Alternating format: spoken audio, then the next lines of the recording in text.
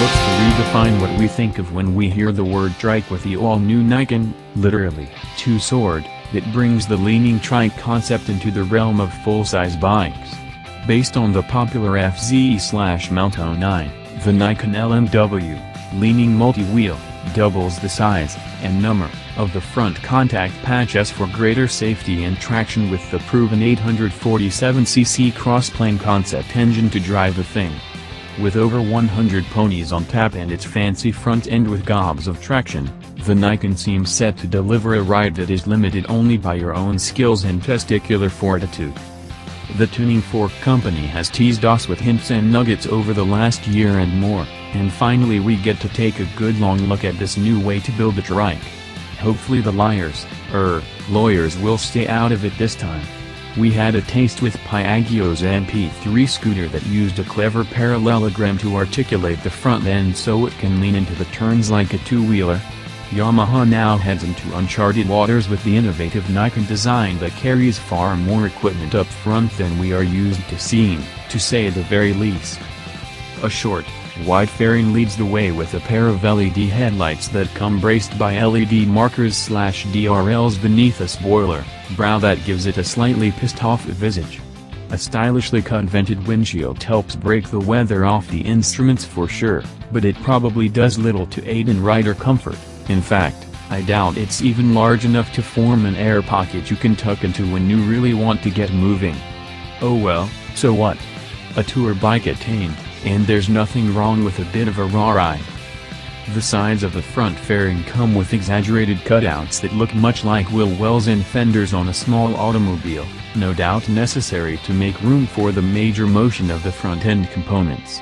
It's much wider up front than you would expect with a sport bike, or even a sport tourer, but falls more in line with non-sport type tour fairings, so while there are definitely some anomalous features to be found on the front end, it isn't entirely out of shape.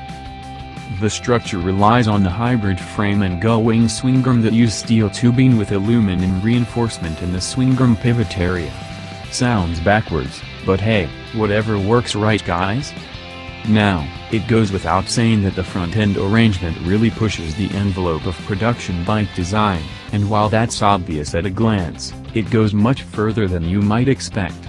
The steering head is set at an uncommonly sharp, 20-degree angle with a surprisingly short 2.9 inches of trail.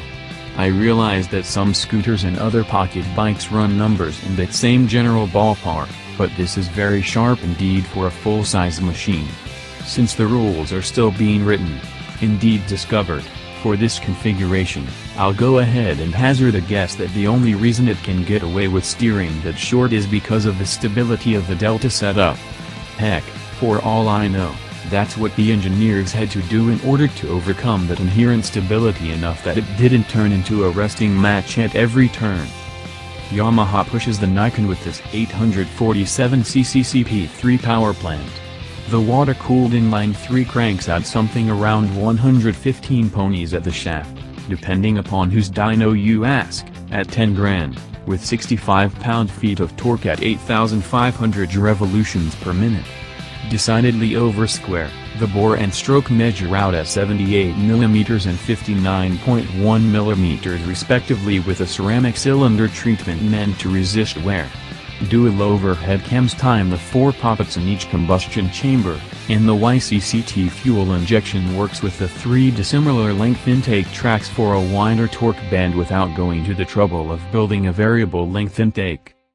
Since it's a RBW throttle control, you also get some electronical, sick, yumminess in the form of a variable power delivery feature Yami calls the D mode that lets you cycle between three different modes to allow you to dial in for conditions and preference.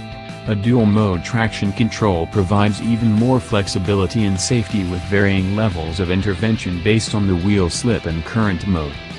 A 6-speed transmission crunches the ratios with a slip and assist clutch that provides an easy pull at the lever and some wheel hop protection as well, and the quick shifter lets you jam the gears without first rolling off the throttle for truly aggressive acceleration.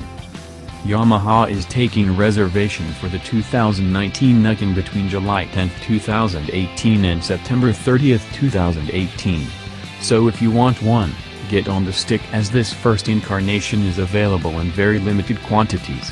A $500 deposit is required toward the $15,999 MSRP. Thanks for watching.